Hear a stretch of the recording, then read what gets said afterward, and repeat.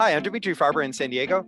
I've been teaching with Manhattan Prep since 2009, and this is my full time gig. So I teach GMAT, GRE, I trade instructors, and I work on curriculum. I come from a whole family of teachers. My dad uh, was a literature professor when I was growing up. My mom was a preschool teacher. My brother is a professor. My sister's a teacher. Um, I have a lot of aunts and uncles and other things who are academics and teachers. So it's kind of a family business. I thought maybe I'd do something else. I wanted to write novels. Still may do that. Um, but I really soon realized I like teaching. I like working with with people um, to help them understand things. I like talking about ideas, and I like the idea that it's always new. Even when I'm teaching the you know the same curriculum once again for the you know the fifth time that week there's some new angle on it. There's some way a student sees a problem that i've actually never seen before. So it's always fresh and interesting to me. And uh, it's a place where i feel i really fit.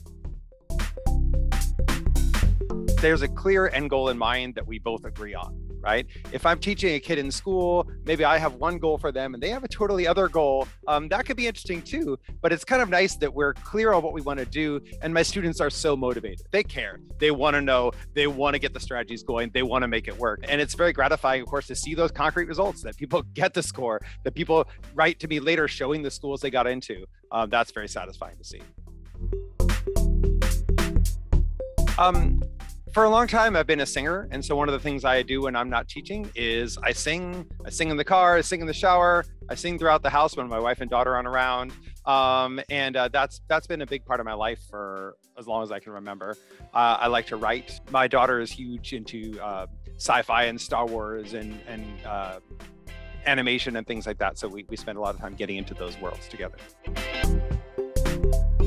I hope what people take away from all of my classes is that I'm excited to be there, that I'm interested in this material, and I want to make this interesting for them. The most common comment I feel like I get is that people are surprised how fast class goes. They think, oh, this, I thought this is going to be such a drag. I'm here for three hours talking about this, and it's already over. And I'm hoping that at no point are people feeling disengaged, mopey, bored, that it's exciting, that it's fun to talk about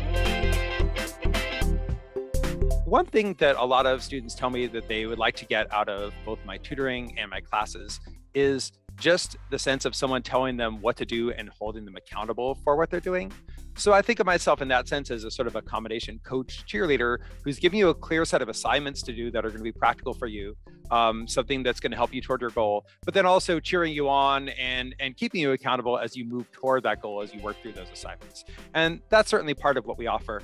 Um, however, I, I hope that some people can get something more out of the classes, which is making sure that their approach is really working for them, that every step of the content they're using is something that's practical um, and workable toward their goal.